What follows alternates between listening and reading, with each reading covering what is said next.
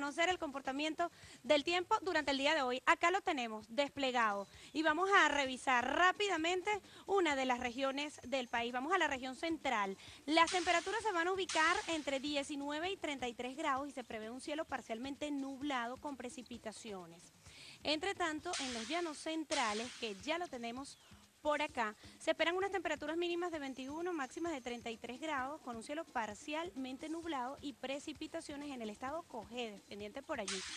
En la región oriental, en los estados Anzuategui, Nueva Esparta, Sucre y Monaga, se van a presentar el cielo parcialmente nublado. Hay precipitaciones en esta región, van a tener temperaturas que se van a estar ubicando entre los 22 y los 33 grados.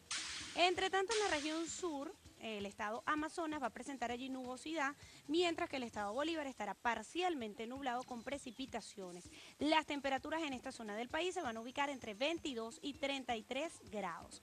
En los llanos occidentales, los estados Apure, Barinas y Portuguesa, observamos un cielo parcialmente nublado. Las precipitaciones eh, allí, bueno, se van a estar presentando y las temperaturas se van a ubicar entre 21 y 33 grados.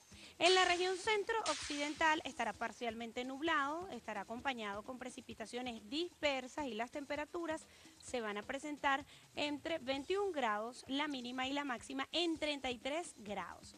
Nos vamos ahora a los Andes. Allí vemos, bueno, Mérida, Táchira y Trujillo, ya lo tenemos Allí se van a presentar precipitaciones dispersas, las temperaturas van a oscilar entre 16 y 33 grados.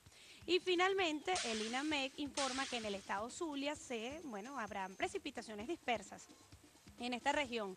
Las temperaturas se van a ubicar entre los 22 y los 33 grados. Importante recordarles a ustedes que todo el reporte que nosotros presentamos a esta hora de la mañana es desde las 6 y hasta las 12 del mediodía.